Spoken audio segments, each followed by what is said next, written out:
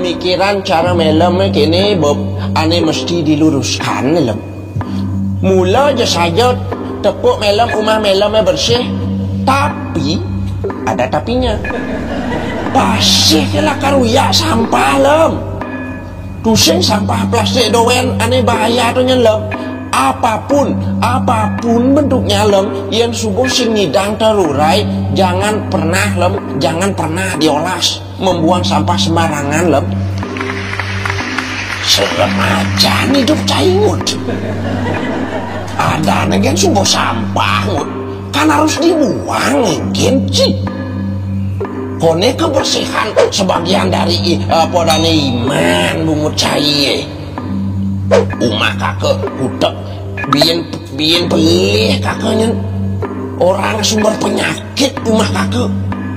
Betul-betul miris hidup China berseruat betul lah.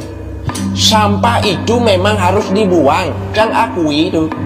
Tapi pang pada tempatnya nah elem. Jauh ngawang.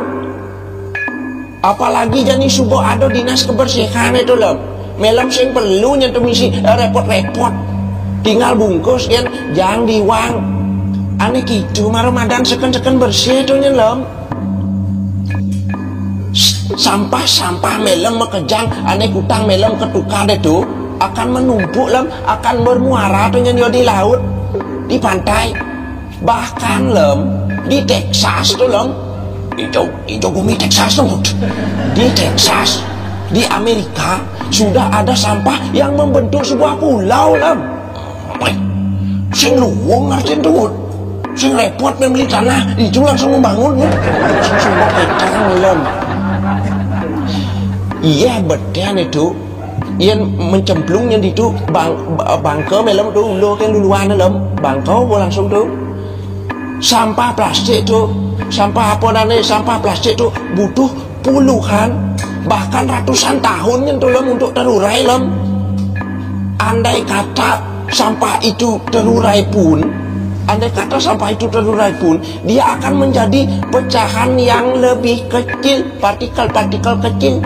Sinah biota laut akan terancam lem. Termasuk elem itu terancam. Hmm. Ucang kaku. Kaku orang si biota laut kadang kaku kadang cai kaku cumi-cumi jeneng cai anjay cikgu tak anjay melem kan subuh pasti tuh pasti subuh melem makan bebas lem apalagi cangawang melem tuh pecinta seafood apa melem mau makanan melem tercemar sampah lem lamun sing suwud suwud uli jani ngutang sampah ketukar dalam uli jani oke. Cut Wih, bahaya masih dong tuh makanya sampah plastik tuh sing tadi kutang ngawagut intinya lem sampah yang tidak bisa terurai itu jangan lem. Sampah yang tidak bisa terurai itu jangan. Misalkan apa? Misalkan apa dong misalkan contohnya cara plastik besi dan semacamnya tuh lem.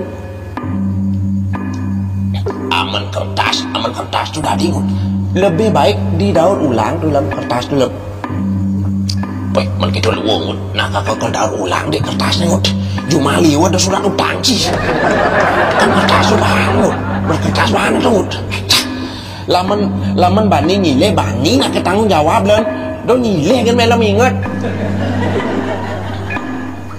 nak just kidding ada ngut beli tadi nih lah. Ada dua jenis sampahnya tuh lem ada namanya sampah organik dan ada namanya sampah anorganik. Apa madan gitu? Luat kamu luat sampah organik itu bisa terurai lem dan sampah itu bisa dijadikan pupuk kompos. Contoh sampah organik apa? Apa contoh sampah organik tunggu daun. Daun tuh bisa terurai lem. Kotoran hewan masih tadi tuh ngidang tuh nyelem tadi masih tuh nyelem alam pupuk. Yan, yan, yan, yan, yan, yan, sampah anorganik tuh apa modelnya tunggu sampah anorganik tuh modelnya orang cang jani. Apa tuh tuh sebuah cara orang cang tuh nilem cara plastik besi kertas. Tentu bisa tuh lem didaur ulang tuh lem. Bisa dioperasikan kembali. Ingat lem Alam kita ini sudah semakin kritis lem Gitu Cai jangan tuh melakukan hal tuh Makanya lem Cang ini kan manusia lem Tak luput dari salah dan dosa lem Yang melem nepukin cang Gitu Melem harus mengingatkan. Melem gitu cang mengingatkan. Soalnya lem Masalah sampah nih Masalah raga bersama lem Bahkan masalah seluruh dunia beserta isinya lem